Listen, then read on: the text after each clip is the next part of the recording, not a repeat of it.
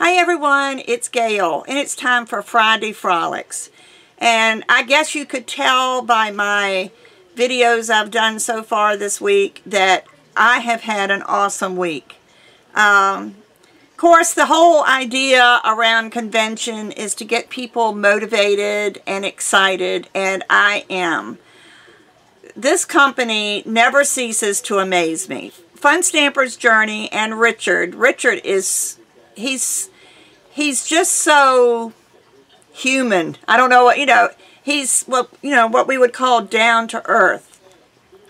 You would think that someone that created a company like Fun Stampers Journey would be a little bit um, either conceited or, um, you know, snobby or whatever. But he is so approachable. I can't tell you how many times I had my picture taken with him because he would be walking down the hall and would stop and say, want to do a selfie? And so we would do a selfie. You know, it was, he's just great. And uh, just an example, one of the coaches posted on our coach Facebook page that TSA had opened her, uh, one of her bags that had her products and stuff in it, and something spilled onto her catalog. And when she got home, about the first 15 or 20 pages of her catalog were stuck together and she was just devastated. So what did Richard, I mean, Richard looks at our post on our Coach Connection. He he looks at, he, he's responded to several of mine. The first time I went, oh, Richard responded. But uh, he responded to her that he was going to send her another catalog. Because ours are spiral bound, the ones you get at convention. The regular catalogs are not, but he does this just for the coaches that attend convention, they're all spiral bound and they're so nice because they can lay flat when you're looking for, you know, uh, trying to, you know, uh, work from a picture or something. And he's going to send her another catalog, you know, because he said, you've got to have your own catalog. And so he's sending her another catalog. And it's, you know, it's just been crazy. But if I was not in love with this company before convention, I am definitely in love with this company now. Of course, I got to meet so many of the people that I talk to every week or some only occasionally. Uh, we did a tour of the headquarters, which is their warehouse and office. And we got to sit in Richard's chair and, you know, just do all those silly things that you do on, at you know when you're away like that. And um, but it was just really nice. And those people worked so hard to make sure that the coaches had a great experience. I mean they were there. Some of them worked at Journey Station all day and then came there right from work. They would leave work about an hour early and then they would come over to the hotel and then they would participate as helpers and they, you know, work at, at convention. So I know they're all exhausted. So if any of you have placed orders and there seems to be an issue with them, you know, be nice to these guys. The, you know, I, I saw their method of shipping and I have not had any issues with getting the wrong items or something missing. If something was missing, it was because it was on back order. And there's usually a little card in there that says that, uh, you know, it's on back order. But um, the, th the gifts that they gave us were all wrapped and filled with glitter and sparkle and sequins and and confetti and wrapped in, you know, with ribbons and everything. So I'm sure for weeks before convention, they've all been really, really busy and, and pushing themselves to the limit. I'm sure they were glad convention was over. But it was so awesome.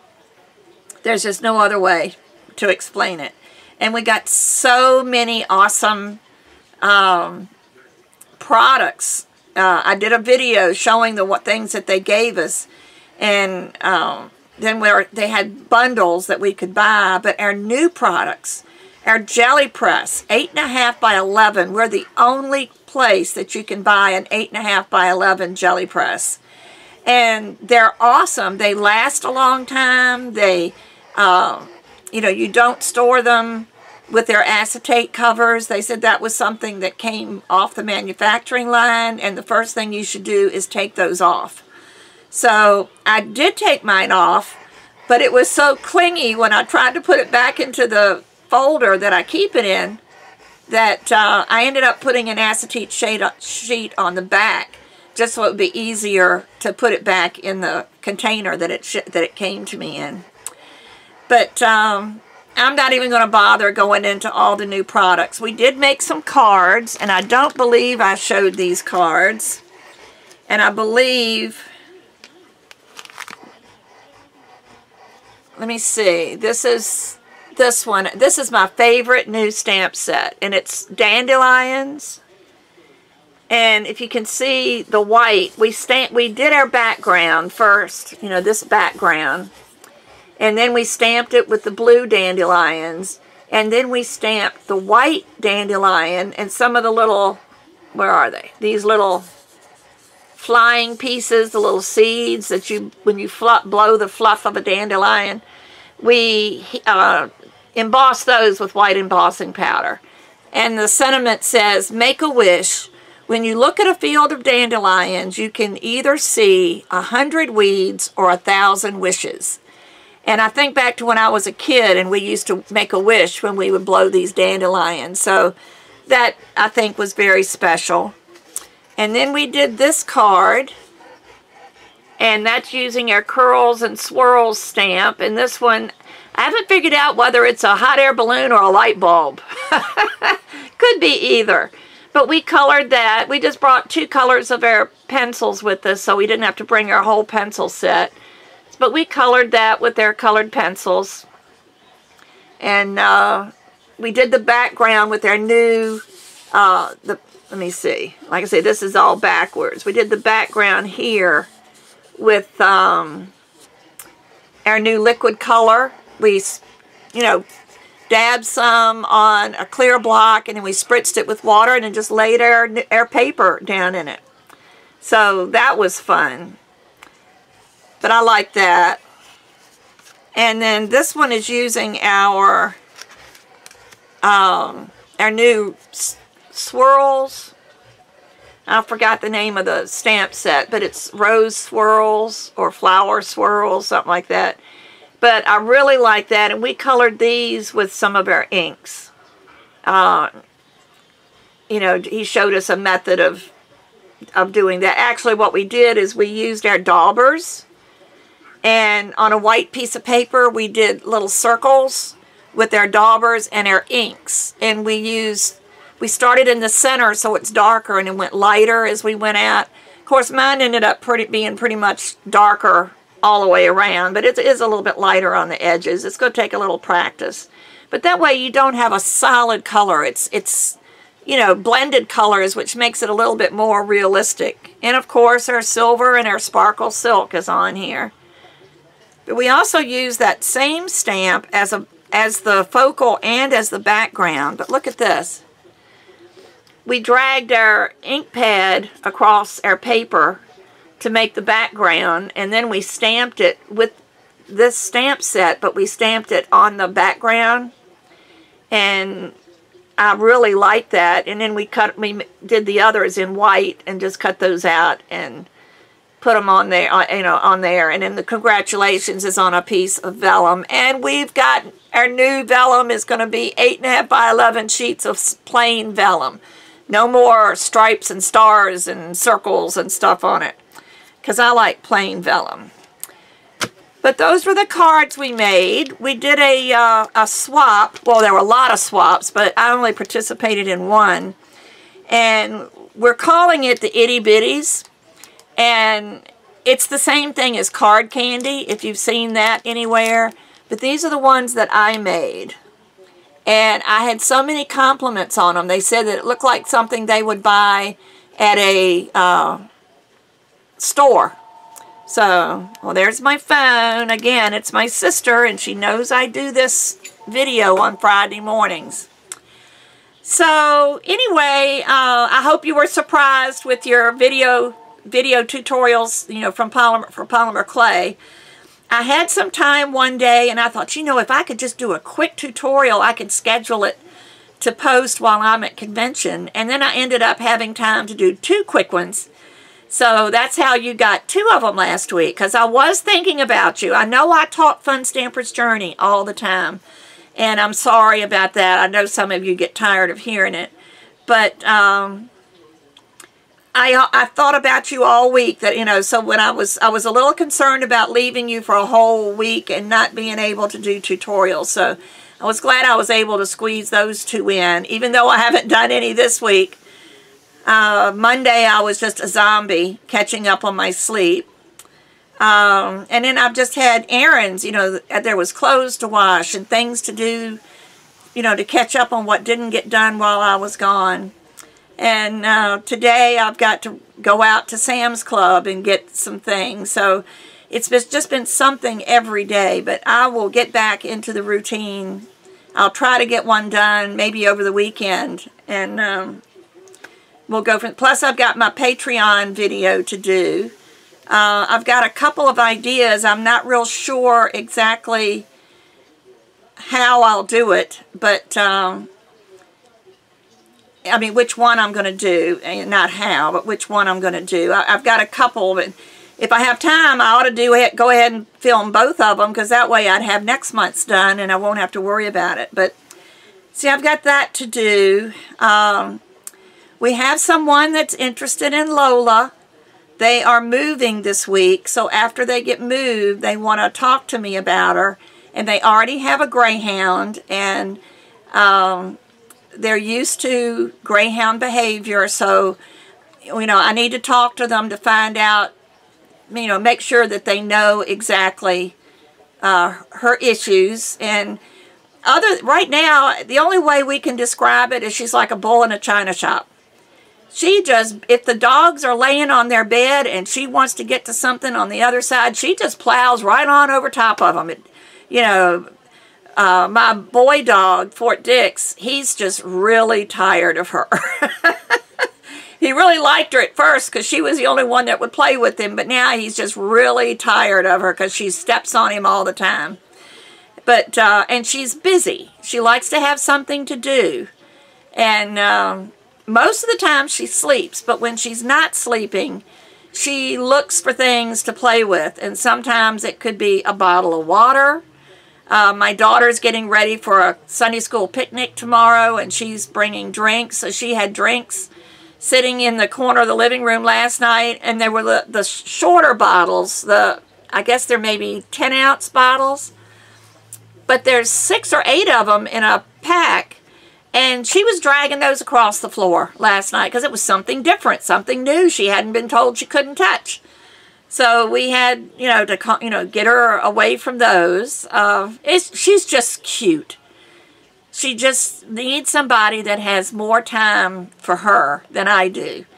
Uh, I'm so used to my dogs that just sit or lay down. They go out when they need to go out, and then they come in and lay down the rest of the time. And Lola doesn't do that. She's young, and she still has some energy. But hopefully this will work out and Lola will find a permanent home. She's been with us two months now. And it's time that she goes somewhere permanently because she's really making herself at home here. And it's going to be a tough transition. So the longer she's here, the harder it's going to be. So we're hoping that this will work out. And let's see, what else? I I may do a D-stash. Um, I have pulled out all of my cards, not cards, all of my stamps that are being discontinued at the end of June. That are, They did not make it into the July catalog. And I, you know, when I first started, I was I would see something and I'd see a project somebody did on video. I'd say, oh, I like that. So I'd order everything to do it. And then either I never did it or I, it's on my to-do list. And now they're being retired. And I feel like if I'm going to try to build a business out of this, I need to uh, keep current product and show demos on things that people can buy if they like it. It'd be a shame for me to do something using a stamp set that everybody fell in love with only to find out it's been discontinued. You can't buy it anymore. So I've got those, and I may do a D-Stash video on those. Um, oh, one more thing, and this is for anybody that might be interested either in joining the journey or getting the Amaze machine. If you need a die cut machine, the Amaze machine is our smaller machine. It's right here. It's it's a good size. It's got a solid bottom. It doesn't fold up. It's, so it's very sturdy. And up until now, um, it has been offered in a starter kit. Now the Amaze machine itself is $139.95 or $139.99, $135.99. I don't even remember. But it's almost $140. And it's always been available in a starter kit for $149.95, which is only $10 more than the machine, and you get three stamps pads, two stamp sets, a die uh, cutting set, um, adhesives, you get a pack of white paper, a pack of black paper, and a pack of a sampler paper. It's uh, 12 of our colors. You'll get two sheets of each. Um, you get the white liner tape, uh, just, I mean, all kinds of things you get. And it's uh, $149.95. But that's going away after the end of this month. They've decided to, it seems like when the Amaze machine had a sign-up special when it was $99 for the starter kit, which is when I joined because I needed the machine and I wanted, you know, $99 was a great price. But um,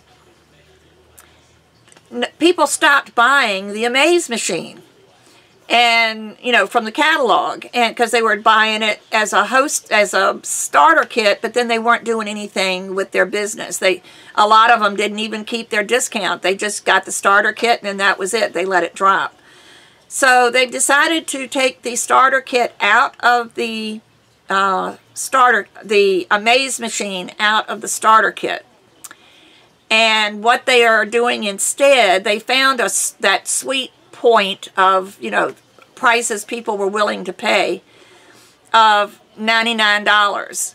And now for the $99, they have the Star starter kit, which is everything that was in the Amaze starter kit, but it didn't have the Amaze machine. So now there's a, you know, it's for people that are more serious about joining the company and already have a machine or they can buy the machine get it as a half price item if they have a $400 order. So um, you know that's something new. So if you want the amaze machine in a starter kit which whether you want to do it as a hobby or whether you want to build a business with Fun Stampers Journey the hobbyist would still get their 20% discount or if you just want all the products for the 149 you know, let me know before the end of June because starting July 1, that's not going to be available. And what they're doing for July for a like a sign-up bonus type thing is you will be getting, anybody that signs up as a coach in July will be getting double the stamp sets. So say you sign up as a platinum uh, with the platinum starter kit, you get three stamp sets or four stamp sets. I, I think it's three stamp sets. So instead of three, you would get six. Instead of one ATS, you would get two ATSs. So, um, you know, it's that's the way it's going to work. So your starter kits um, for the month of July, if you sign up and get any starter kit, the stamp sets are the number you get are doubled. So that's our sign up special for July. And other than that, I really can't think of anything else I need to tell you guys. Um, I think um, I've covered it all, either that or what I haven't shown you in a video that I've done this week. So this is going to be it for my Friday Frolic, and I hope you come back and join me again. I, like I said, I'm going to try to do some... Uh, polymer clay tutorials. I'm also going to try to do a tutorial in our gel press. I played with it a little bit yesterday and it is so much fun. I love it. And one thing I love about it is doing the mirror image. So if you are interested in how to do a mirror image with your stamps, let me know and I'll, I'll be able to show you that on the, uh, on the gel press. So everybody have a great day, have a wonderful weekend, and I'll be back soon. Bye-bye.